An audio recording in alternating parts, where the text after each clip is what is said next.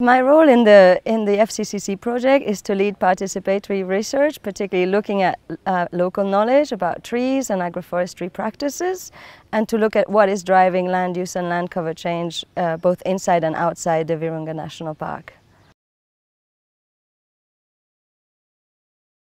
We're conducting field research uh, and, and we're working with our local partner, which is uh, WWF, the, the implementing partner. So WWF are looking at, at, uh, at promoting uh, woodlot, uh, energy woodlots around the, around the park to reduce the pressure. And we're working with them and with their partner associations, so tree planting associations, in trying to understand what species and what agroforestry options we could design to improve the delivery of ecosystem services.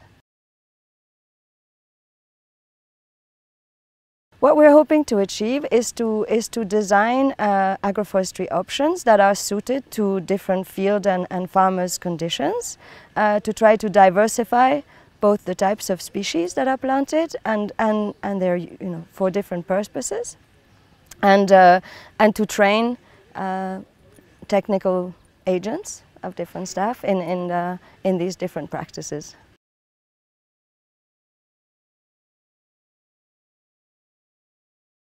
Well, outside the, the Virunga National Park, there's very few forests that are left. So most of the forests are actually found in the protected areas. They're under severe pressure both uh, for, for timber extraction, for charcoal extraction. There's also encroachment in, in the park for agricultural or pastoral purposes.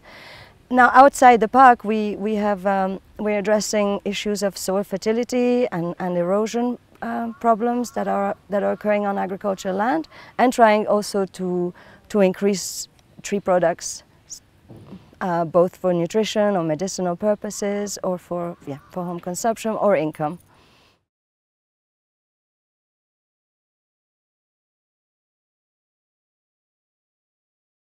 The Virunga National Park is, apart from being one of the oldest uh, parks in Africa, with a very high level of, uh, of endemism and, and very high concentration of mammal species and different forest ecosystem, which are very important uh, you know, for, for global conservation. It's also an interesting park because it is located on the border with Rwanda and Uganda, and, and it has been at the heart of, of you know, several decades of political military conflict and which have meant that it's been very difficult to, to protect the park. The Virunga National Park has an iconic species, which is the mountain gorilla, which is, uh, you know, so it's receiving a lot of international attention for the protection of that endangered species.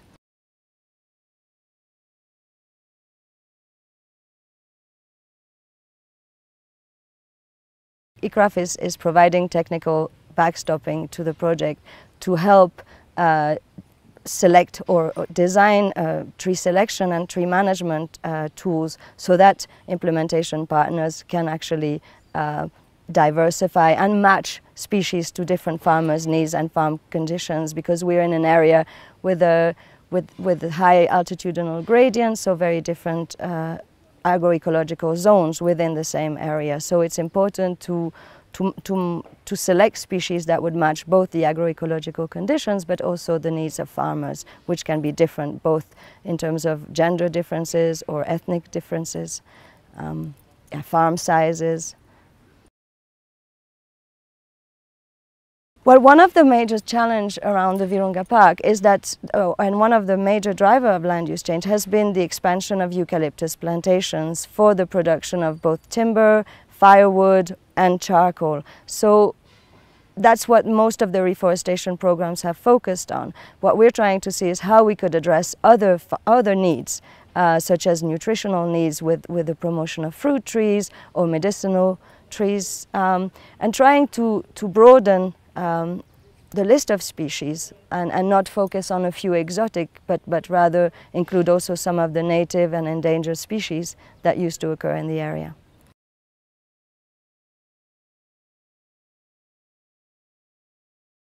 The approach that we're using is to integrate local and scientific knowledge uh, about different tree options. So that's, that's why we've conducted uh, two local knowledge studies looking at what farmers know, what is growing in their fields, what they know about it, both in terms of their uses but also in terms of their management. And, uh, and combine that, so that's our goal, to combine that with available scientific information, with lessons learned from, from neighboring countries where, where there has been uh, several interventions like Rwanda or Uganda with similar agroecological zones, and, and to, um, to design these options, these different options. So that's, that's how we go about it, integrating local knowledge, validating it with stakeholders, and integrating it with scientific knowledge. So we've had uh, a lot of, of, uh, of, interviews conducted in the field. We've also had focus group discussions. And more recently, we've, uh, we've prepared two um, participatory workshops or technical workshops where we've fed back the results of our local knowledge studies to local stakeholders. So who are these stakeholders? Both uh, the technical staff of WWF who are leading reforestation projects, but also other environmental associations, other farmer associations, uh, local scientists, um, extension staff, the rural advisory staff. So we've conducted these, uh, these workshops where we've uh, tried to, to look at the different agroforestry options and what were their, you know, what were their opportunities, what were the constraints associated with them, and, and what were the solutions to these constraints. And so what really stood out from these workshop was that people really increased their understanding of agroforestry as, as, a, as being a diver, you know, offering diverse uh, options, opportunities for tree planting and you know, outside you know, woodlots of monoculture, also not uh, focusing on just a, a few so-called agroforestry species like fast-growing leguminous shrubs, but really thinking about how we can improve uh, tree diversity and tree cover on, on farm with different options that would be different uh, according to, to the different needs. So you would look at improving fruit trees, for example, in homesteads, but looking at erosion control on slopes and, uh, and also natural regeneration, looking at different options. So what's really stood out was people's perception of agroforestry really changed in the opportunities that it can provide for farmers.